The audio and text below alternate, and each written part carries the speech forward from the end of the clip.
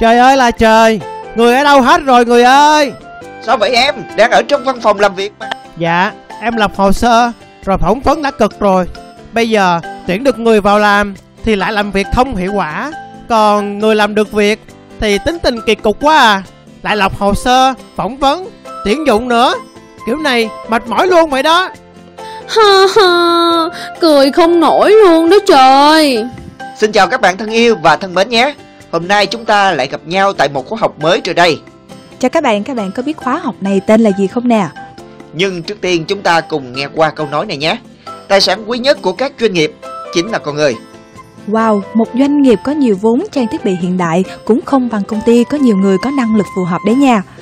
Nhưng không vì thế mà người nào chúng ta cũng đón nhận vào doanh nghiệp mình đâu nha Chỉ có những người tài giỏi, giao tiếp tốt, kỹ năng uyên bác và đặc biệt phải phù hợp với doanh nghiệp đó, Thì mới được các doanh nghiệp săn đón về thôi.